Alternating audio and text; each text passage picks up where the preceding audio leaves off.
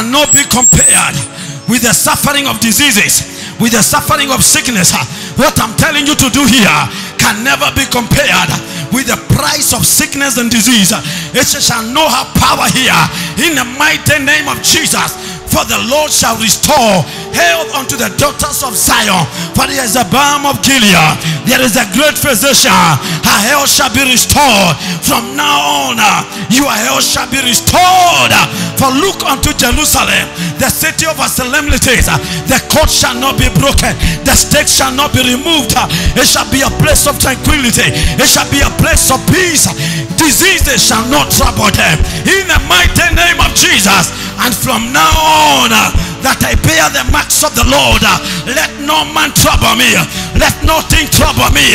I prophesy good health to my body. I prophesy strength and sekataya. Strength of the Almighty. Divine strength in my body.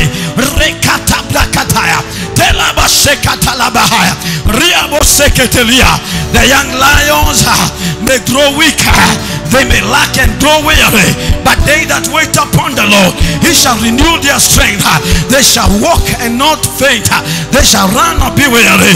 They shall mount up with wings like eagles. For the Lord shall renew. He shall increase their power. Right now, in the name of Jesus, I prophesy a renewal of my strength in my spirit, man, in my mind,